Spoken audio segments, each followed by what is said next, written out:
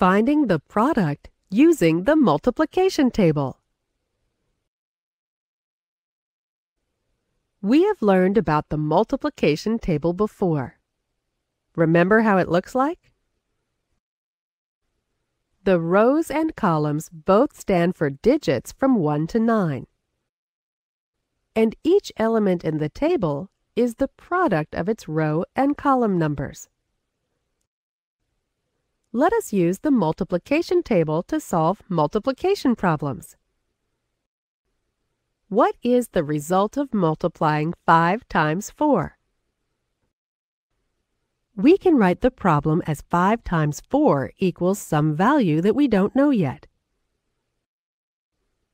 So we put a question mark after the equal sign to represent the unknown value.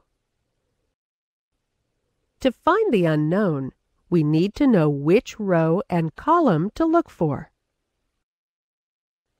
5 represents the row number and 4 represents the column number. What is the value of the element in row 5, column 4?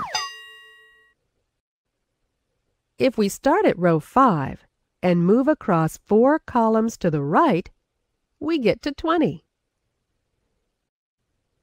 Now, we replace the unknown in our equation with 20.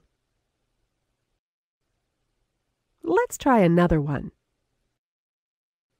What is 6 times 9?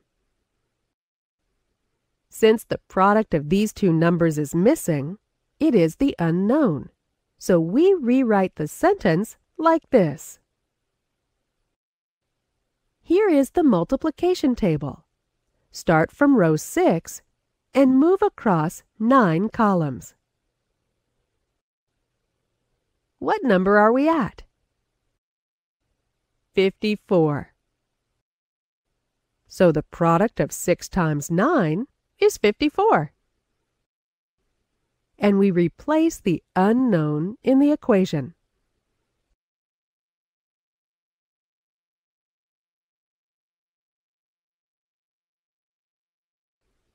In this lesson, you learned how to find the product of a multiplication equation using the multiplication table.